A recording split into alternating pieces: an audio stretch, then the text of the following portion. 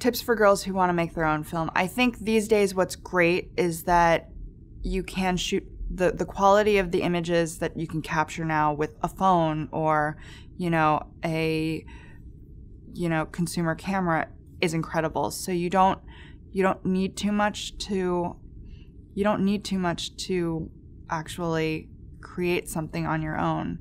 In terms of making a film, I I think good preparation is really important and again, it depends on what kind of film we're talking about. You know, if you want to script something and you're starting from a script, I would advise like you you you have your script and then you want to make stuff a lot of preparation and thinking about how do I actually how do I envision this actually looking and a lot of what directors do to prepare is to shot list and to storyboard out what they're actually going to shoot. So in essence, it's almost like you have a comic book version of what you're going to make in advance of your shoot, and that kind of preparation can really help. I think.